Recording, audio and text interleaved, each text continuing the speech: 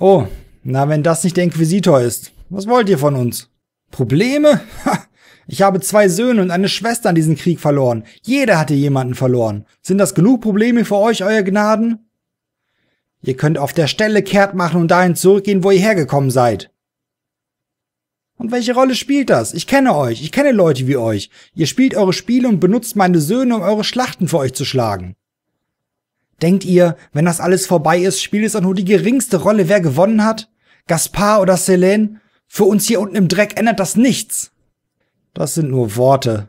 Es wird erst dann wieder besser, wenn die Toten nach Hause kommen. Doch das kann nicht mal der Erbauer bewirken.